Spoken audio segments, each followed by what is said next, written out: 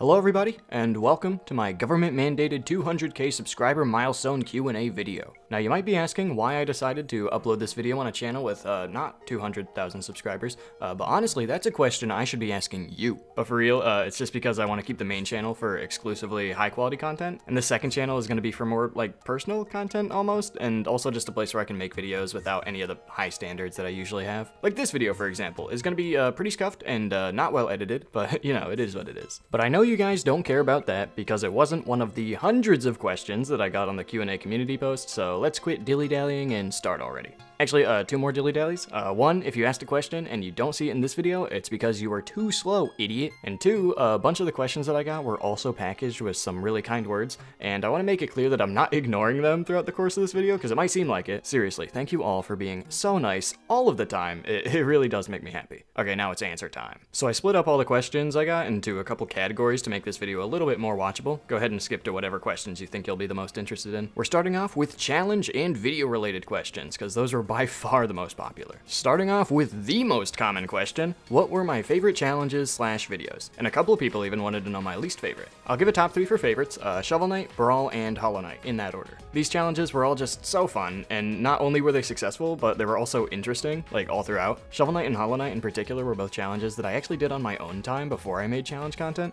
uh, because it's just something that I enjoy doing. All three of these embody exactly what I want out of the challenges, which is just a way to play the game that forces you to learn all the mechanics and apply them in weird spots, and it just so happened to work out perfectly in these three games in particular. And the more I like the challenge, the more motivated I'm gonna be to make a good video out of it, uh, so these are also my favorite videos of mine. That being said, my least favorite challenge that I've done, by far, is every Kirby game jumpless. This was an idea that I had that I thought was funny, but I really should have stopped to think of whether or not it was an actually good idea, because many of the games were just not fun and not interesting. While making it, I realized that Kirby's Adventure actually did have a really cool jumpless challenge, and I considered scrapping the entire idea and just making a video on that one uh, that went more in depth on the glitches and routing, and in a perfect world I would have done that, but instead we have uh, that nonsense which is just kind of below my own standards, unfortunately. Oh man, look out, we got more challenge stats. My easiest challenge was probably Luigi's Mansion without the flashlight. It wasn't really even a challenge, it was mostly just an excuse to make a video about its out of bounds glitch, because it's one of my favorite video game tricks of all time. For the record, I think Luigi's Mansion is one of my personal favorite videos of mine. I think its script is really well written,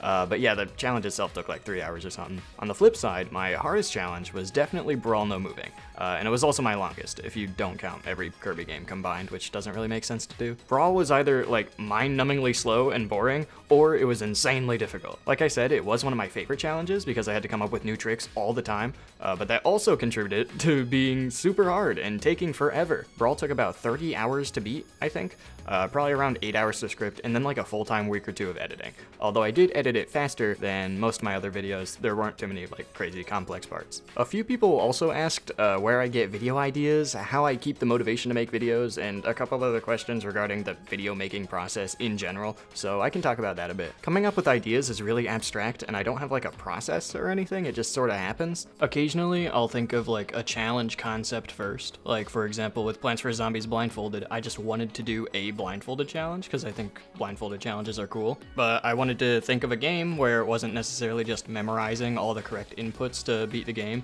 uh, and instead maybe involved more randomness, more strategy, and Plants vs. Zombies sort of fit the bill. Usually though, I start with a game that I just really like and want to make a video about, and then try and build a challenge around it. Generally, this involves doing a ton of research, you know, looking up speedruns, TASes, looking up maybe other challenges of this game, just to figure out what's possible in it. And then once I've, you know, determined, okay, there's enough like interesting stuff to talk about, even in regard to this game, how can I build a challenge that uses and applies all of these tricks? So for example, for my Meat Boy video, I just decided Super Meat Boy is a game that I wanted to make a video about. It's one of my favorite games. I looked up speedruns on Super Meat Boy and I found, you know, all of the insane glitches that you can do in that game and I decided, oh yeah, this is really interesting. This is stuff I want to talk about. So then in essence, coming up with a challenge for Super Meat Boy is almost just coming up with an excuse to talk about these things. Why would I ever need to use the time stop glitch? Why would I ever need to use auto jump, and no jumping just worked. So then, I record myself doing the challenge, I write a script, read the script while recording,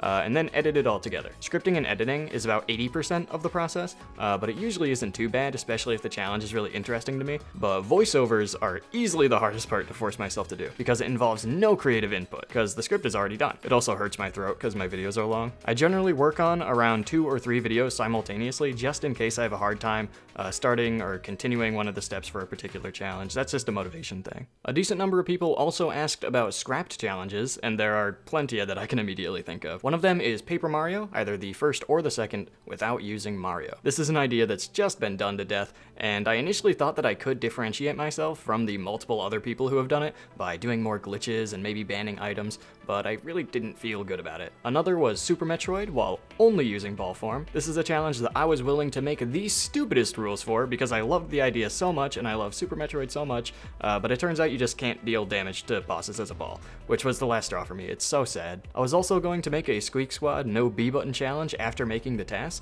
which is actually a super cool challenge outside of one section that I couldn't figure out. So I actually, I put it on the back burner while I made Shovel Knight, just in case I eventually got any better ideas for that section, and I just never came back to it. I don't think it's possible. Omori is a game that I kind of became obsessed with after playing it for a while, uh, and I wanted to do a challenge for it, but the best one I could think of was Omori only with minimum tags, and I was gonna call it the No Friends Challenge. The issue with this one is that I could not at all find a way to differentiate the challenge from a speedrun and it just felt kind of weird to do a bad speedrun and call it a challenge. People have also already done Omori only, so minimum tags was the only thing I would be adding, and it just didn't feel like enough. And finally, the holy grail of scrapped challenge videos on the sample chample is SpongeBob SquarePants Battle for Bikini Bottom rehydrated without jumping. This challenge is so freaking cool, and I recorded the entire thing, wrote the entire script, and started editing it. And keep in mind, this was before I released the TAS or made videos in any capacity. I was just inspired by this challenge for some reason to make a video about it. But unfortunately, another much bigger YouTuber beat me to it,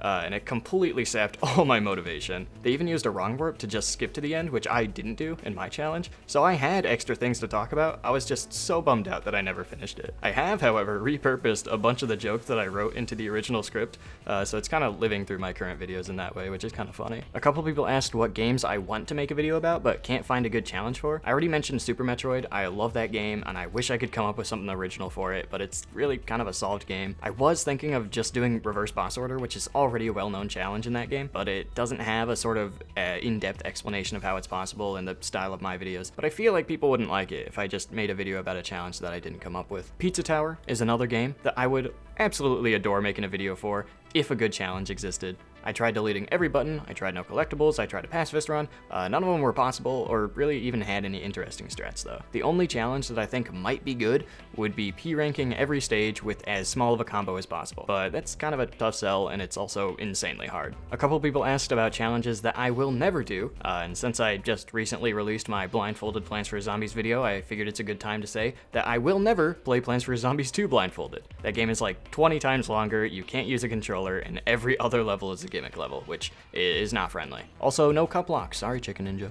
On that subject, we have a question from Eric here, who asks about my standards for the types of challenges that I do. I know only one person asked, but this is a question that I really, really like. The way I see it, there are two types of challenges, game-focused and challenge-focused, and I way prefer the former. Challenge-focused is like Mario No Coins or Mega Man Hitless. It's only about the level-to-level -level obstacles for the challenge specifically. Game-focused challenges, on the other hand, are like the A-button challenge in Mario 64. Everyone who works on that challenge is so focused on finding out everything possible about the game that you can sometimes forget that they're even doing a challenge. And that's sort of what I want my videos to be like, which is why, for example, uh, when I wanted to do a blindfolded challenge, I didn't want to do a game where the entire point was just memorizing the exact inputs I needed to beat it. Uh, but I instead wanted a game where you actually had to apply knowledge of the game and its mechanics in order to beat it without seeing. Again, kind of related, what other challenge videos or challenge video YouTubers uh, am I into? Do I personally enjoy? I don't watch too many, but I will spitfire a few. Mario 64, A-button challenge, challenge, the OG. It's so good. Argon Matrix has a skillless Stardew Valley run, which is a big comfort video of mine. I really liked Challenger Andy's no jumping runs of the Smash Bros games. They inspired my Brawl video. I am not a Five Nights fan, but Chicken Ninja's Five Nights videos are actually really, really interesting. It's cool to learn about the game in that way. This is kind of an oddball choice, but Simple Flips, one of my favorite YouTubers, has a series called Walkies, which is absolutely incredible. And my guy Barely Alec has easily the coolest Plants vs. Zombies challenge, all to himself, like it's kind of rude that he's just hoarding it. There are definitely a bunch of others. There are so many good challenge content creators out there. There are even just people who are content creators who decide to make challenge content that's really, really good. So yeah, those are just the people that I immediately can think of. It's a little bit of recency bias, but there you go. Hey, a bunch of people also asked about TASing, which is the, the other thing that I do on this channel technically. The thing is, I'll only ever finish a project as huge as a TAS if I'm really passionate about it. Superstar Ultra was just a perfect game to TAS. I was so lucky that no one else had done the full game, uh, and Squeak Squad was such a fun run to route especially since big stars were sort of my discovery. This means that I can't promise I'll make another TAS, uh, especially anytime soon. I heavily considered Return to Dreamland, but that game just doesn't have as much tech or ability diversity as I initially wanted it to, and I also considered Epic Yarn, but TASing co-op gameplay is really, really time consuming. I might upload what I have so far of those games on this channel if you guys want that, but I can't promise that I'll ever actually finish them. I definitely might make another TAS, it just requires that I find a game that I really, really like, like Pizza Tower. I really want to TAS Pizza Tower.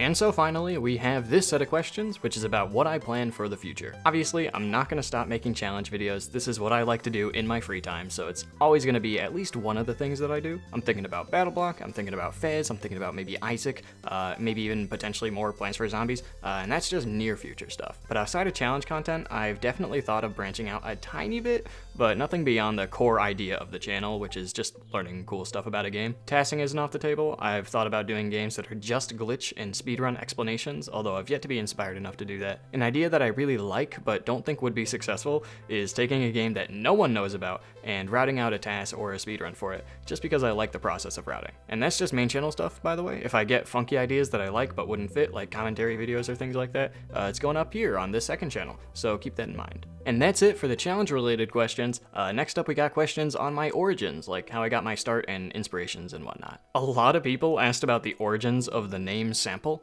It wasn't actually Sample originally. The name of the channel used to be Sam Phantom. Hey everybody, it's Sam Phantom here. Today I'm going to be playing Rotar. Let's go! This was just a classic example of a very young child trying to come up with a cool gamer name, and I came up with Sam Phantom, not realizing that I was accidentally referencing Danny Phantom. Eventually, I did get sick of people in online games rapping the Danny Phantom theme song at me, so I wanted to change it to something very normal and not explicitly trying to be cool. I eventually landed on Sample, uh, because I had it in my head for some reason that it needed to have my name in it, which is of course AMP. Sample just spoke me for whatever reason. It's probably the pun potential, I'm not gonna lie. A couple people asked if I expected to be a YouTuber when I uploaded the Kirby TAS, and the answer is an obvious no, who would? There was definitely a point when I was younger that I made YouTube videos with the explicit purpose of like eventually getting popular. So I would clickbait videos like crazy, I would follow trends and things like that. It's actually kind of funny because it was around the time that I started making the TAS where I stopped having that mentality and I said, hey, uh, I'm gonna stop treating YouTube as this like weird potential career aspiration because that's incredibly unrealistic.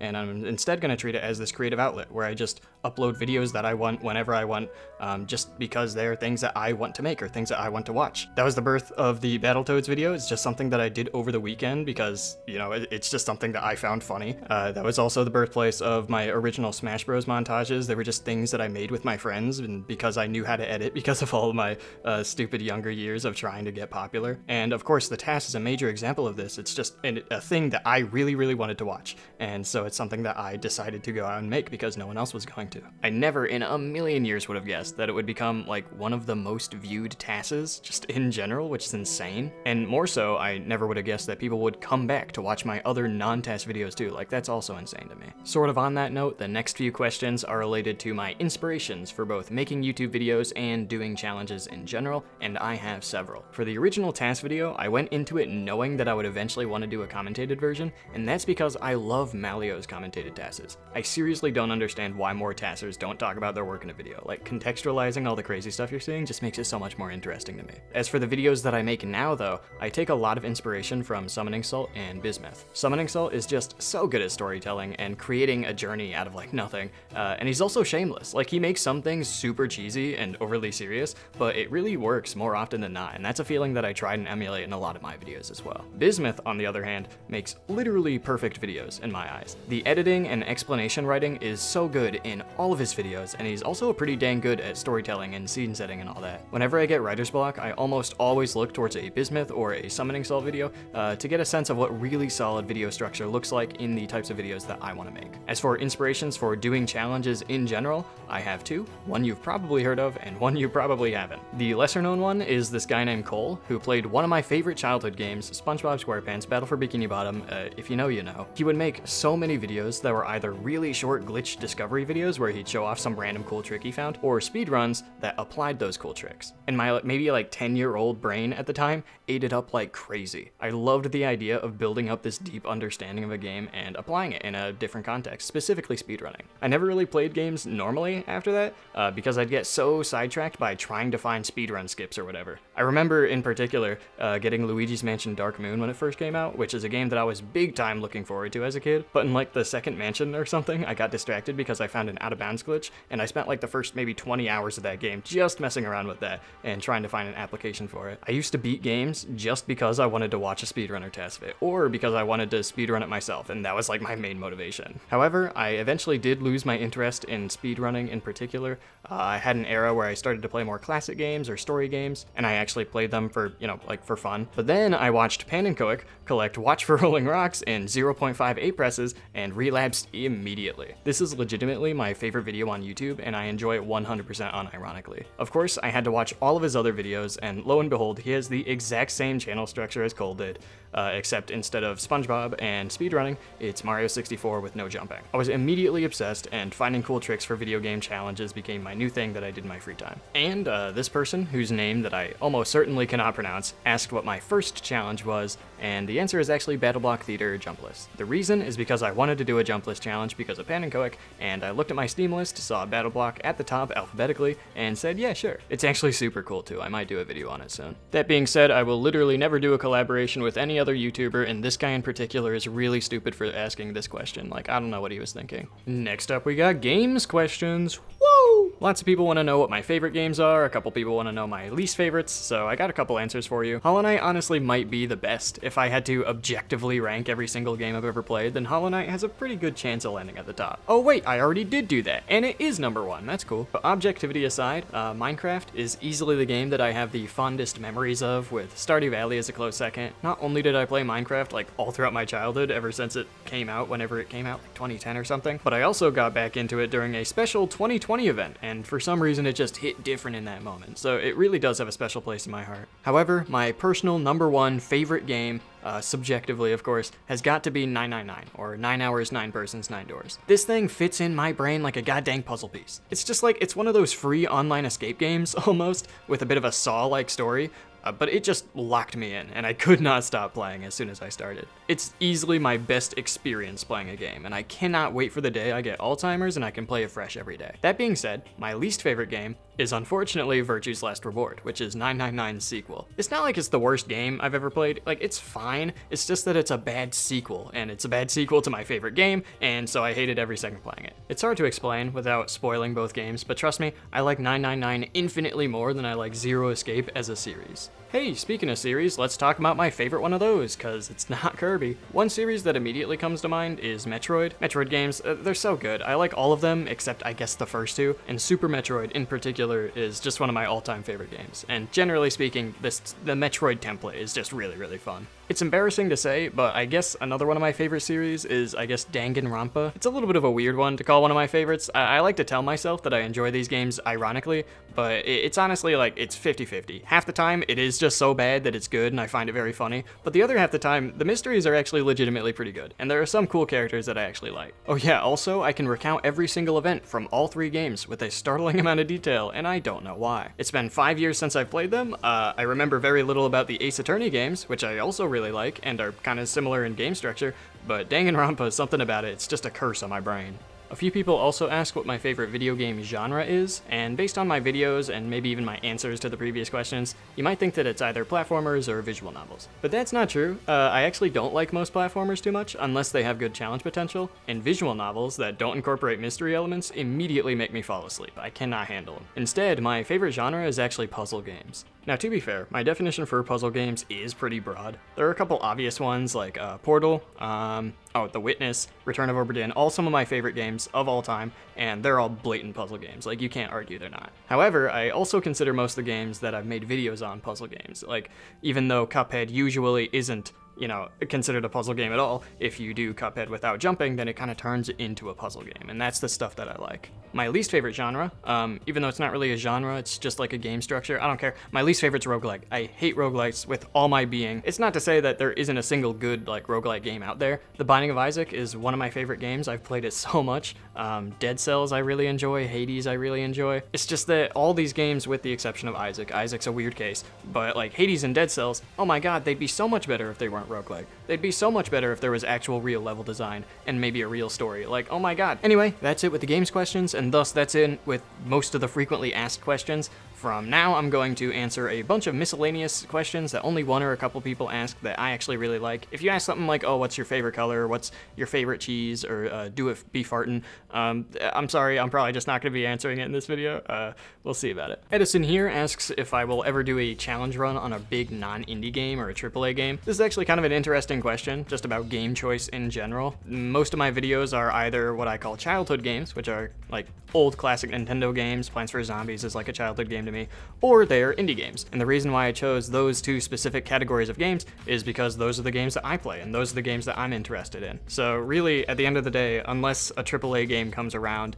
that I'm really, really enthralled by and I'm really, really inspired by, um, I'm probably not going to make a video about it, and that's just how it goes. This is a bit of a nonsensical question, considering that the Battletoads video is representative of my community and all the memories that I've made on YouTube, so I really don't think I could have one without the other. I don't understand, I feel like I've been very, very vocal about my opinion on beans throughout every single one of my videos. If you have to ask this question, you just haven't been paying attention. The bulletin board in the Stardew Valley video costs about 20 bucks, but exactly zero gold. A couple people asked if I ever get angry when making a challenge video, uh, and the answer is no, I'm not the type of person to really get angry. Uh, instead, if something goes wrong, I'm the type of person to get real sad. A few people asked questions along the lines of, uh, will I ever come back to a challenge uh, if it gets outdated and stuff like that. The thing is, a lot of my challenges at this point have been outdated or like proven or debunked differently. I don't know.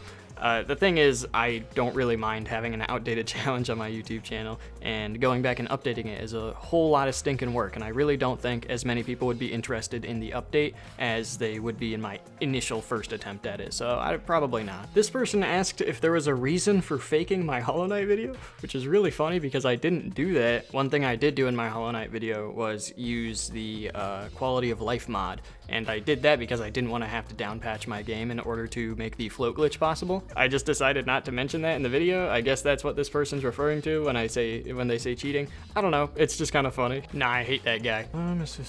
Need to It's me. Okay. Um, my only hope. Okay, it's cool. Uh, oh yeah, it's blue. Favorite color is blue. No, it's actually blue. The issue is I'm uh, colorblind, so I probably can't see too many other shades of blue other than the normal shade of blue. So thanks for asking, Penny Jim. Kind of messed up that you say that I have that vibe, but yes, I do have a computer science background. I'm not a big cook at all. I definitely need to learn more recipes, but I would say that fried rice is my best uh, put effort into cooking dish. It's the only dish I know that doesn't involve a microwave pretty much. I wish I logged hours, uh, but editing takes forever. It takes usually a couple weeks of full-time days. So I would say like uh, around 50 to 100 hours of editing per video. I use Adobe After Effects initially for a lot of my earlier videos. I used Final Cut Pro on my Mac, but then it killed my Mac. It could not handle that much editing, so I switched to my PC. As for like tips for up and coming YouTubers, don't ask me. I'm still an up and coming YouTuber as far as I'm aware, right? Like, and I just got my start extremely luckily, so yeah, I, I'm not really that great to ask in that regard. But for just making videos, if you get stuck, you have writer's block or something, my biggest tip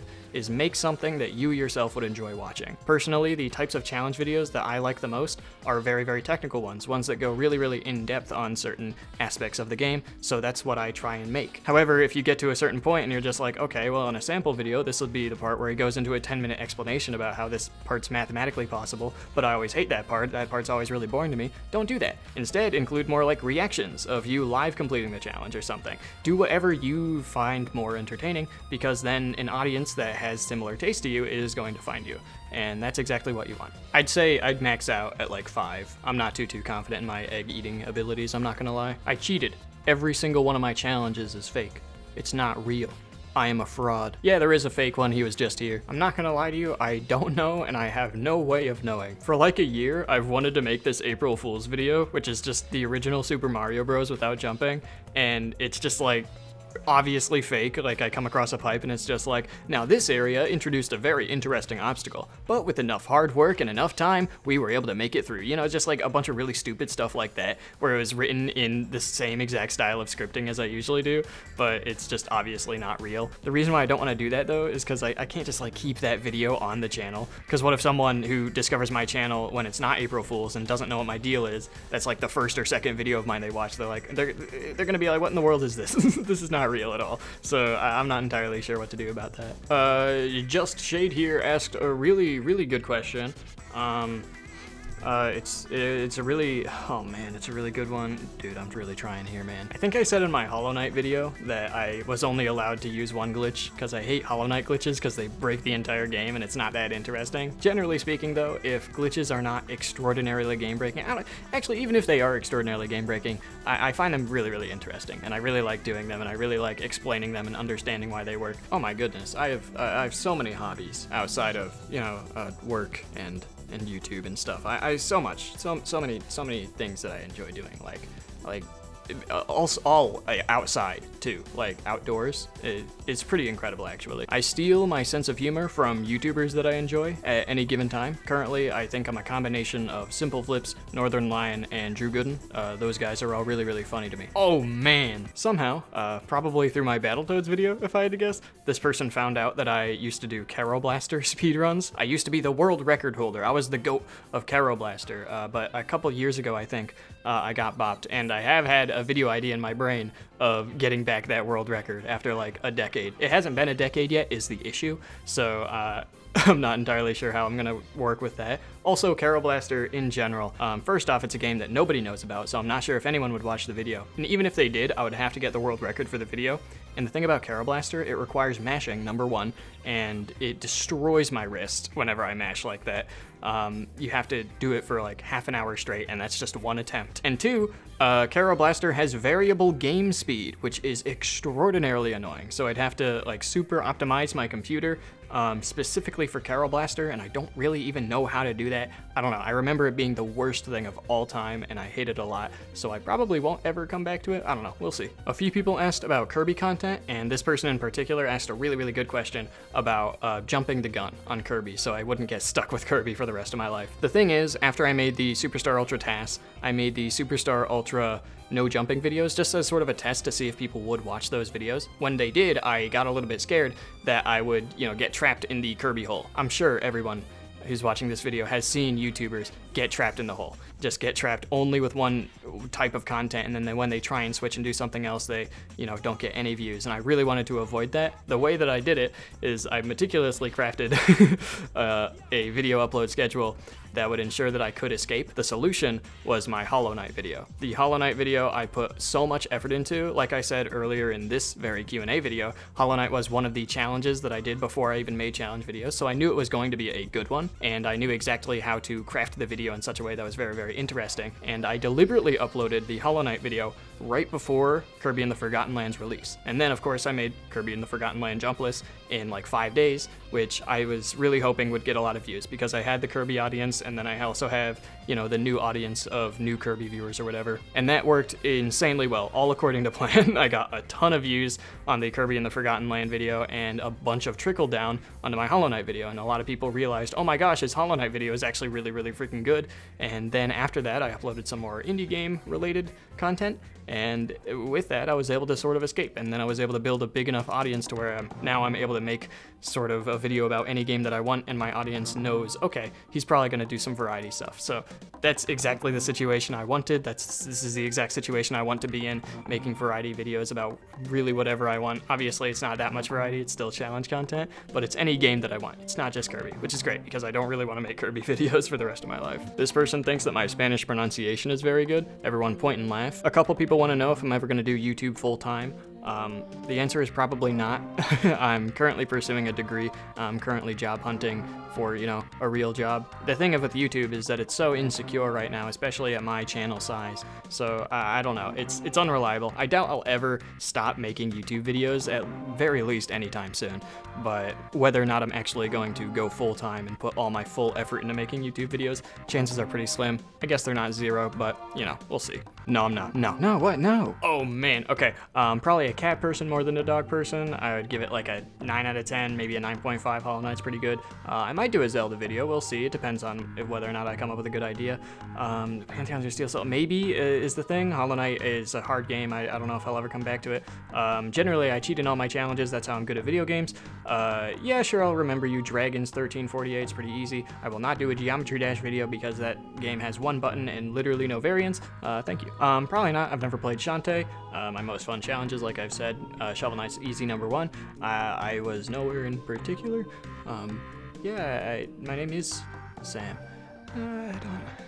I don't know about that. Look, man, it's out of my control. I don't know. So the wrong warp explanation is like the entire reason that I even decided to make the Super Meat Boy video. I just thought of the idea of personifying all the moving parts in that trick, and I thought it was really, really funny. And eventually I came up with the idea to use stick puppets because I don't know how to animate normally. So uh, the stick puppets is much, much easier. I could just buy like a green poster board, print out pictures of little bumbos that I edited in Photoshop, and then, you know, move them around on popsicle sticks, and it makes it actually quite interesting. It ended up looking a lot better than I ever could have imagined it would, so it's easily one of my favorite parts I've ever added in any of my videos. I'm probably not going to do a face reveal, uh, at least not anytime soon. I don't really know why. For some reason, it's just in my brain that I really don't want to. Um, that's why I wore a mask and hat in the Plants vs. Zombies blindfolded videos. I don't know, I like appearing physically in my videos. I just, for some reason, the face in particular is something that I want to keep kind of private. A few people asked about streaming. Uh, I have streamed a couple times in my in my career. The thing is, I'm just not a big streaming guy, especially with the challenges that I generally do. They're kind of puzzle-based challenges. I would much rather solve the puzzle myself, you know?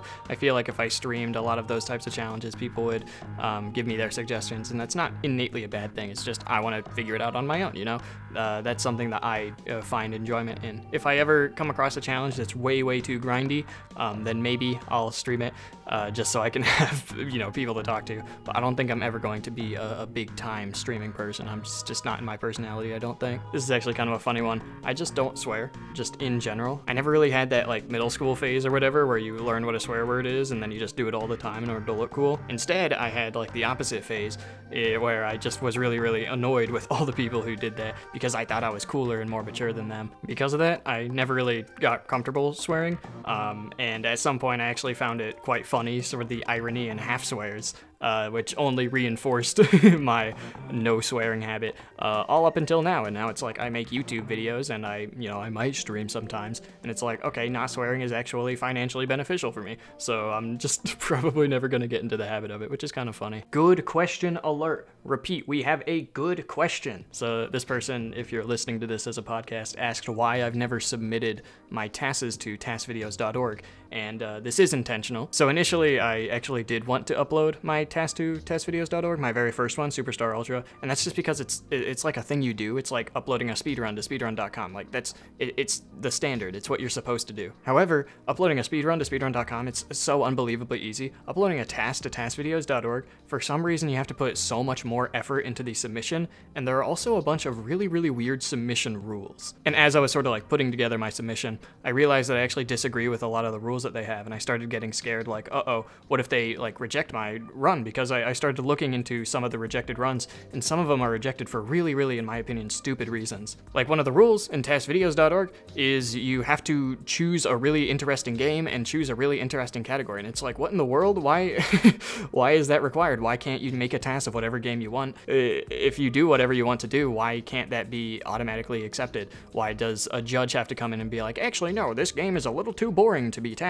One of the rules that I kind of agree with is their optimization rule. It's a little weird and subjective, but basically they say, hey, your TAS has to be like at least a little bit optimized. It has to actually look like a TAS in order to be accepted. It has to like beat the RTA world record or whatever. And like that makes sense to me. One thing that doesn't though is their improvement rule, where it's like if you improve a TAS, you have to improve it by a certain amount in order for it to be accepted. And that makes no sense to me. These are like speedruns that we're talking about, and I don't understand like this means there are TASes out there. There are TASes on tasvideos.org that have been improved upon, but just for some reason the TASes that are better than the current one have not been accepted because like oh no because you used too many inputs from the original author. Whatever just say that then. Just credit the original author then. I don't understand. That is unfathomable to me. But the smoking gun in this regard and i know this isn't like the most unfathomable rule or whatever but it definitely like broke my heart a little bit. It removed some of my childlike innocence that i had in regard with TASing but one of my favorite parts of TASes and one of everyone's favorite parts of TASes is the auto scrollers because it's like, oh my gosh, uh, when a TASer, you know, comes across an auto scroller in a game, they just like to mess around. And that was, you know, my motivation in my Superstar Ultra TAS. Every time I came across an auto scroller, it's like, okay, I'm gonna, you know, impose a little bit of a challenge for myself, or I'm gonna do show off some really cool tech. And I thought that's just something that like was a community accepted thing. Like, oh yeah, TASers just like doing this. It's just something they enjoy doing. No, it's because tasvideos.org has an entertainment rule that explicitly states that you need to be entertaining during auto scrollers like that, where you can't actually speed up. And that's insane to me. Like, why that should not be a rule. The reason why you don't see TASes where they don't do that isn't just because, oh, because TASers like having some fun. No, it's because it's enforced. It's a rule that you have to have. And it, I don't know. It's just everything about tasvideos.org. It seems so gatekeepy to me and very, very weird. And I, I just don't want to be a part of that community. I don't mean to. This isn't going to start drama. No one's watching this video to begin with, and no one's even in the TAS community. But I just think that it's so weird that it's so uh, restrictive almost, and it makes me not want to submit any of my videos to tasvideos.org